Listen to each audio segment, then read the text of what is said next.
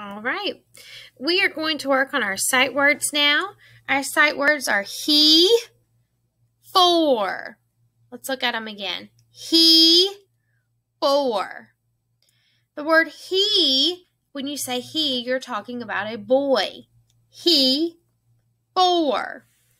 So, and this is the word for, meaning something is for someone. So, not the number four. Okay, this is something is for someone. He, for. Let's say them again together. Your turn. He, for. Blank has a pan. He has a pan or for has a pan. Which word do you think best fits that sentence?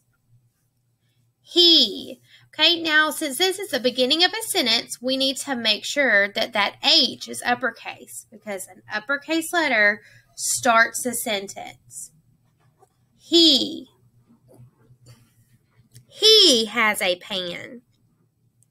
Okay, we're going to go across. Blank likes the pan. He likes the pan or for likes the pan. Which word best fits that sentence? He. He likes the pan. Now, this is the start of a sentence here also, so we've got to make sure that H is an uppercase letter because an uppercase letter starts a sentence. He likes the pan. All right, moving down. The pan is blank you. The pan is he you, or should we say the pan is for you? Which word best completes that sentence? He is for you. The pan is for you. Sorry. The pan is for you. Okay? So this is all lowercase letters, but that F is a tall letter, okay?